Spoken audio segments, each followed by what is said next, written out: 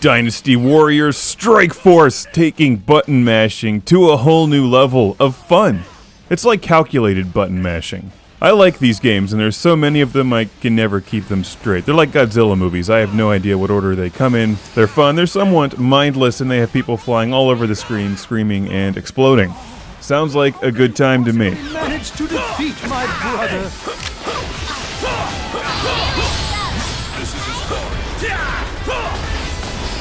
The big thing with Dynasty Warriors Strike Force is that you can play with up to three of your friends as a four person team, slaughtering your way through wherever the hell these people are fighting.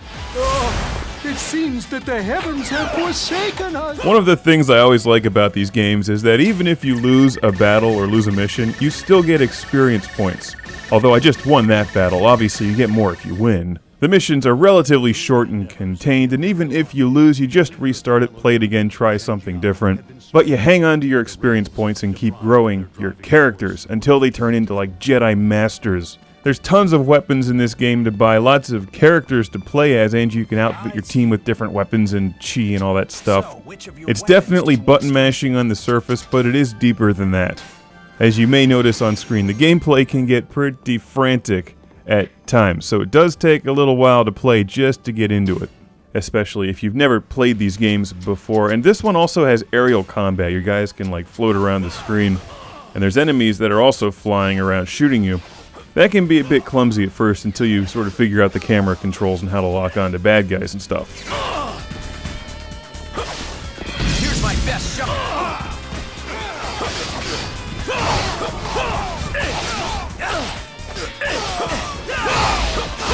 When you hit people or get hit, your fury gauge on the bottom left fills up, and then you can transform into this glowing uh, form, which gives you some more strength. You have a couple different attacks, and there's even some combos in there.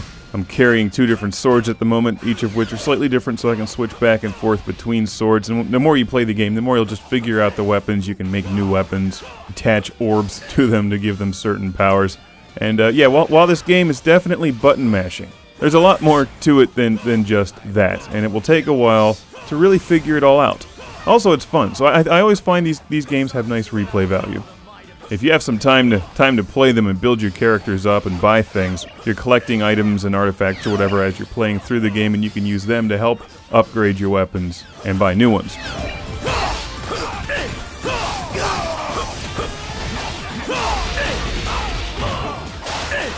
Sometimes the camera perspectives can be a bit funky as you see, but when as you play the game, you get used to it. You can jump and dash your way out of danger easily once you get the lay of the land and the feel of the gameplay. One of the things I like about this game is that you can take meat buns into battle with you. Several of them. Like a bag of meat buns. They give you health. They don't specify what kind of meat, though. Is it dragon meat? Swordfish? Tiger? Snork? What kind of meat is it? I'd like to believe it's snork.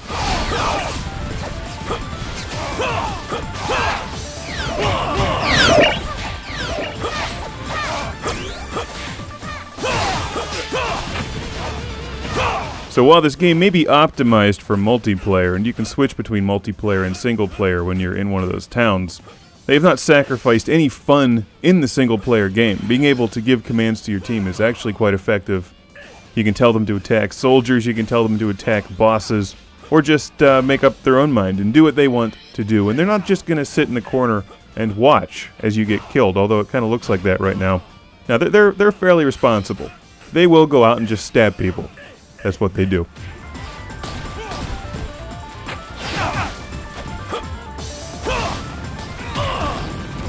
I can't believe I lost. I must withdraw for now. I have defeated an officer.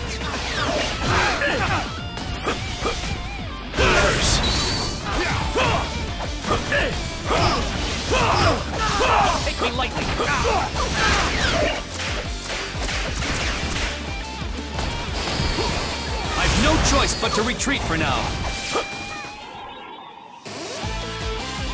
It's a victory if you like this series of games, because this one is just as much fun as any of the other ones, and throws some new stuff in there that's different but doesn't completely screw up the gameplay. Dynasty Warriors Strike Force is on PlayStation 3, Xbox 360. We're watching the 360 version. It's a sizable game, it's a fun game. You can play with button mashing or you can use some serious tactics. Combine the two. Highly customizable. And while it may look frantic on screen if you've never played these, if you like action games, give them a try.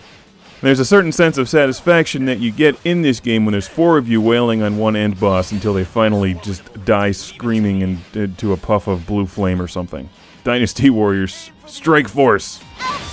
Right. Understood.